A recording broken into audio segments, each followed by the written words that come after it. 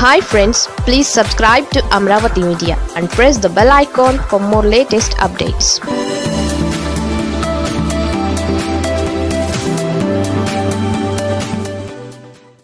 AB వెంకటేశ్వరరావుపై charge sheet Chandrababu సన్నిహితుడికి కేంద్రం shock intelligence మాజీ చీఫ్ ఏబి వెంకటేశ్వరరావుకు కేంద్ర ప్రభుత్వం షాక్ ఇచ్చింది. సస్పెండ్ ఉత్తర్వులను రద్దు చేయాలని కేంద్ర హోంశాఖకు ఏబి వెంకటేశ్వరరావు అప్పీల్ చేసుకోగా. దానిని పరిగణలోనికి తీసుకోకపోవడంతో పాటు ఛార్జ్షీట్ దాఖలు చేయాలని ఆదేశించడం చర్చనీయాంశమైంది. అప్పటి ఇంటెలిజెన్స్ చీఫ్గా ఏబి వెంకటేశ్వరరావు చంద్రబాబు రాజకీయ ప్రయోజనాల కోసం మాత్రమే పనిచేస్తారనే ఆరోపణలు బలంగా ఉన్నాయి. వైసీపీ ఎమ్మెల్యేలు నాయకుల ఫోన్లను ట్యాప్ చేస్తూ వారిని తమ కంట్రోల్లోకి తీసుకున్నారనే విమర్శలు వెల్లువెత్తడం తెలిసిందే. ఈ నేపథ్యంలో ఏరోసాట్ యుఏవీల కొనుగోలు కోసం ఇరవై ఐదు పాయింట్ ఐదు కోట్లు వెచ్చించి అవినీతికి పాల్పడిన వైనం వెలుగు చూసింది. ఈ కొనుగోలులో భారీగా అవకతవకలు జరిగినట్లు జగన్ సర్కార్కు ప్రాథమిక ఆధారాలు దొరికాయి.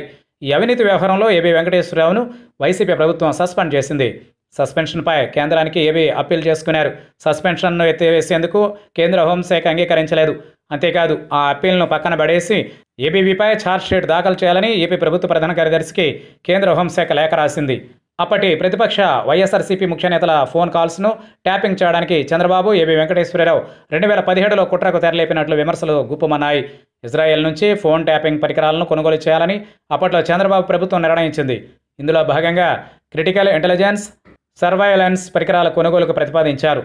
రక్షణ ఉత్పత్తులను విదేశీ కంపెనీల నుంచి కొనుగోలు చేయాలంటే కేంద్ర రక్షణ శాఖ అనుమతి తీసుకోవాలి. ఈ నిబంధనలేవీ పాటించలేదు. ఎందుకంటే కేంద్రానికి సమాచారం ఇస్తే తమ కుట్రలు బయటపడతాయనే భయంతో చంద్రబాబు ప్రభుత్వం గోప్యత పాటించింది. ఇదిలా ఉండగా ఏబీ వెంకటేశ్వరరావు ఫోన్ ట్యాపింగ్ పరికరాల కొనుగోలు కాంట్రాక్ట్ను తన కుమారుడి కంపెనీకి ఇచ్చేలా ప్రణాళిక రచించారనే ఆధారాలు ప్రస్తుత ప్రభుత్వానికి లభ్యమయ్యాయి. అందుకే సస్పెన్షన్ వేటు వేసింది.